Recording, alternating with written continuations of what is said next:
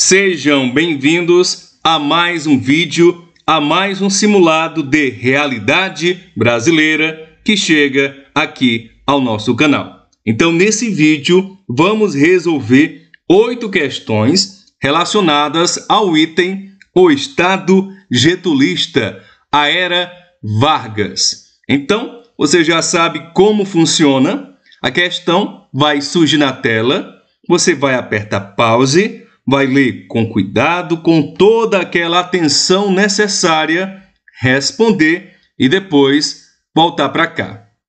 E lembrando que se você não é inscrito no canal, vai lá, se inscreve, é rápido, não custa absolutamente nada para você, mas para a gente, para o nosso trabalho, essa sua ajuda, esse seu reconhecimento realmente muito importante. Então, agora sim, leitura e resolução da nossa questão número 1. Um. O Estado Novo inaugurou uma nova forma de atuação do Estado, caracterizada por um grande intervencionismo estatal, tanto na economia quanto na sociedade.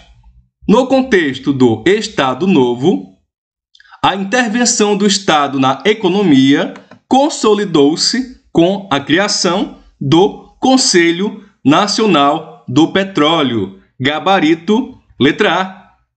Durante o Estado Novo, que foi um período de governo autoritário, liderado por quem? Por Getúlio Vargas, de 37 a 45, houve uma significativa intervenção do Estado na economia. Uma das formas em que essa intervenção se consolidou foi com a criação do Conselho Nacional do Petróleo, no ano de 1938. Esse órgão tinha como objetivo centralizar e controlar a indústria do petróleo, que era considerada estratégica para o país. A formação do Conselho Nacional do Petróleo marcou o início de uma intensificação das atividades de exploração e pesquisa no setor de petróleo no Brasil. Desculpem aí, a língua deu uma travada, mas de boa. No entanto, o CNP se deparou com um desafio significativo: a falta de profissionais qualificados na área de exploração do petróleo. Como resultado, o CNP assumiu a responsabilidade de auxiliar também na capacitação de seus funcionários. Então, primeiro item, primeiro desafio superado, conteúdo revisado, você utiliza essas informações, né, para dar um pontapé inicial para orientar o teu caminho, a tua jornada, explorando o item O Estado Getulista, lá dessa disciplina Realidade Brasileira. Questão número 2 na tela, mais uma vez, você aperta pause, lê com cuidado, com atenção e depois volta para cá. Vamos lá. A função exercida pelo DIP no contexto do Estado Novo, foi a de coagir os opositores e restringir a liberdade de expressão e a liberdade de organização. Então, o gabarito da nossa questão 2 está na tela, letra B. O DIP, Departamento de Imprensa e Propaganda, né, foi criado durante o Estado Novo no Brasil em 1939, com que objetivo? Difundir a ideologia do regime e controlar a imprensa e a propaganda política. O Departamento de Imprensa e Propaganda investiu maciçamente no rádio e na imprensa escrita, além de ter forte atuação no campo artístico, como no cinema, teatro e literatura temos aqui alguns dos diversos objetivos desse departamento: centralizar e coordenar propaganda nacional, seja ela interna e externa, e servir como elemento auxiliar de informação dos ministérios e entidades públicas e privadas. Organizar os serviços de turismo interno e externo. Fazer a censura do teatro, do cinema, das funções recreativas e esportivas, da radiodifusão, da literatura social, política e da imprensa.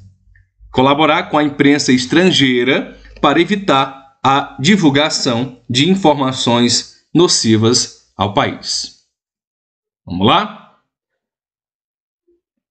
Questão 3 na tela, mais uma vez você aperta pause, lê, responde e depois volta para cá. Agora sim, vamos lá? Ler e resolver? A crise mundial de 1929 fez com que o preço do café despencasse no mercado internacional, provocando uma queda abrupta na receita cambial do Brasil. Além disso, a economia do nosso país passava por um processo de desgaste devido à crise do sistema agroexportador. Para contornar essas dificuldades, o governo Getúlio Vargas adotou uma série de medidas, entre as quais se inclui a política de substituição de importações. Então, vou até grifar aqui porque é um item. Opa, acabei né, mostrando o gabarito. Vamos lá, política de substituição de importações. O texto faz referência a uma política econômica implementada no Brasil na década de 30. Né? Um dos objetivos dessa política né, era diminuir a dependência externa em relação aos países industrializados. Não tem importância eu dar uma adiantada aí no gabarito, mas você já tinha feito a sua leitura, já tinha feito a sua escolha, já tinha identificado a sua alternativa, eu só estava lendo o enunciado, é coisa que você já deve ter feito. Então vamos lá, diminuir a dependência externa em relação aos países industrializados. A política de substituição de importações, implementado durante o governo Getúlio Vargas na década de 30, foi uma resposta à crise econômica e política que o Brasil enfrentava na época. O país dependia fortemente de que das exportações de matérias-primas, como café, e enfrentava problemas relacionados à concentração de renda e à falta de industrialização. A estratégia de Vargas é, consistia em que? Em promover a produção desses itens dentro do Brasil, por meio de incentivos fiscais, investimentos em infraestrutura e barreiras à importação. Diversos setores da economia foram beneficiados pela chamada substituição de importações. Então, o Estado getulista vai lá e dá uma explorada, uma aprofundada nesse tópico. A indústria automobilística, por exemplo, experimentou um crescimento significativo com a produção nacional de veículos. Além disso, a indústria siderúrgica, de alimentos e de bens de consumo também se expandiram. Então, vamos lá? Mais um desafio, mais uma questão, questão 4. Você aperta pause, lê, responde, depois volta. Vamos lá, agora sim? Tranquilo? Qual foi o motivo da Revolução de 1932 que ocorreu em São Paulo contra o governo de Getúlio Vargas? Motivo da Revolução de 32 foi a insatisfação com os interventores federais nomeados por Vargas para os estados. Gabarito da nossa questão 4, letra A. A chamada Revolução Constitucionalista de 1932 foi um movimento armado liderado por quem? Pelo Estado de São Paulo, contra quem? Contra o governo Getúlio Vargas. O movimento teve como objetivo principal a luta pela promulgação de uma nova Constituição. Vamos lá, tá aqui. Constituição para o Brasil e também o fim do governo autoritário de Vargas. A insatisfação dos paulistas com o governo centralizador de Getúlio se concentrava no desejo pela constitucionalização do país, pela realização de eleição presidencial e pelo direito de nomear o próprio interventor. Os paulistas estavam descontentes com a centralização de poder imposta por Vargas e com a falta de apoio aos cafeicultores, que sofriam é, os abalos da crise econômica desde o ano de 1929 o movimento resistiu por três meses, mas foi derrotado. Mesmo assim, algumas exigências dos paulistas foram atendidas, como a nomeação de um civil como interventor e a convocação de uma Assembleia Constituinte. Então, mais um item aí, tá? Para você dar aquela revisada, dar aquela aprofundada. Revolução de 1932, né? Então, essa é a importância, tá? aí está a importância de você vir começar a responder questões, enfrentar simulados, porque você vai identificando itens dentro de um item maior. Estado getulista, a gente já identificou nas questões anteriores subitens que merecem explorações, explorações mais detalhadas. Nesse caso da questão 4, a gente identifica a Revolução de 32 como um item tá, a ser anotado e ser estudado também com uma maior atenção. Né? Não é aquele item que você vai ver superficialmente, é aquele que você deve dedicar um carinho maior. Então, questão 4 resolvida. Vamos lá, questão 5. Qual foi a principal conquista dos trabalhadores brasileiros durante o governo de Vargas que lhe rendeu o apoio popular. Então, aquela questão obrigatória, você não pode errar, você tem que gabaritar, porque se você errar, o teu candidato, né, o teu concorrente, na verdade, vai acertar e vai dar um passo à sua frente. Então, que medida foi essa? Foi a criação da consolidação das leis do trabalho, a CLT, em 1943. A criação da CLT em 1943, um outro item para você estudar, CLT e Getúlio Vargas, né, em 43, foi uma das principais conquistas dos trabalhadores brasileiros durante o governo de Vargas. Provavelmente a principal conquista, e essa conquista lhe rendeu o quê? Bastante apoio popular. A CLT distribui os direitos e deveres dos trabalhadores regulamentando questões como jornada de trabalho, férias, salário mínimo, entre outros direitos fundamentais para os trabalhadores.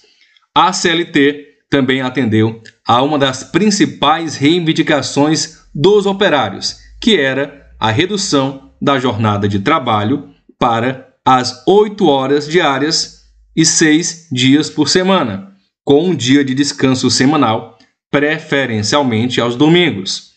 Essa vitória histórica dos trabalhadores foi um marco, sim, na história do direito trabalhista no Brasil e, e contribuiu significativamente para a melhoria das condições de trabalho e para a consolidação dos direitos dos trabalhadores. Então vamos lá, gabarito mais uma vez reforçando letra D.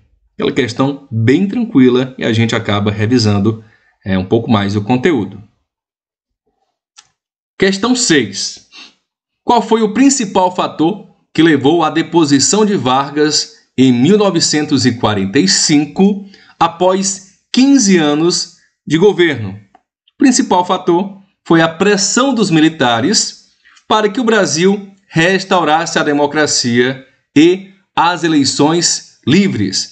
Então, gabarito, letra B. Getúlio Vargas foi deposto no poder em 29 de outubro de 45, por militares insatisfeitos com os oito anos de Estado Novo e que prometiam a restauração da democracia e das eleições livres. A deposição de Getúlio Vargas ocorreu em um contexto de crise política e de crise social, com a pressão dos militares, dos empresários e dos estudantes, além da pressão dos Estados Unidos para que o Brasil rompesse com o eixo na Segunda Guerra Mundial. Mas o principal fator foi realmente a pressão dos militares para que o Brasil restaurasse a democracia e as eleições livres. Vargas, que governava o país como ditador desde 37, viu no Manifesto dos Mineiros o primeiro documento em defesa da redemocratização e do fim do Estado Novo brasileiro. Os militares, que tiveram participação ativa na transição do Estado Novo para o período democrático que se seguiu, conduziram todo o processo de deposição de Getúlio. A deposição de Vargas marcou que o fim do Estado Novo e o início de um período de transição para a democracia no nosso querido Brasil. Então, o principal fator foi realmente um fator interno, a pressão dos militares para que o Brasil restaurasse a democracia e as eleições livres. Todos os outros elementos, né, como essa pressão dos Estados Unidos para que o Brasil rompesse né, com a Alemanha, com o Japão e com a Itália na Segunda Guerra Mundial, foi um fator secundário. Questão 7, penúltima questão. Qual foi o principal desafio enfrentado por Vargas em seu segundo governo, iniciado em 51, após ser eleito pelo voto popular? Vamos lá. Principal desafio enfrentado por Getúlio nesse segundo governo foi a crise política causada pela oposição e pela conspiração. No segundo governo de Getúlio Vargas, né, iniciado em 1951, após ser eleito pelo voto popular, o principal desafio enfrentado pelo presidente foi uma crise política causada pela oposição e pela conspiração. A UDN, o Partido Conservador e Antidemocrático, prestou oposição ferrenha ao governo e contribuiu para travar a governabilidade de Getúlio Vargas. A tensão social também resultou da crise política, mas também dos problemas que a economia brasileira enfrentou.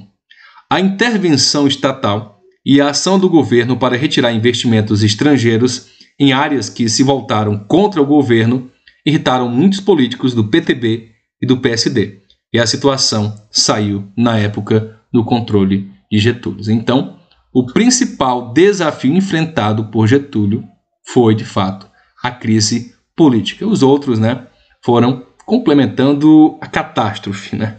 Mas o início de tudo foi realmente na política. Então, agora sim, nossa última questão. Qual foi a principal consequência do suicídio de Getúlio Vargas para a política brasileira nos anos seguintes? Vamos lá identificar nosso gabarito na letra C. A ascensão de Juscelino Kubitschek, que promoveu o desenvolvimentismo e a construção de Brasília.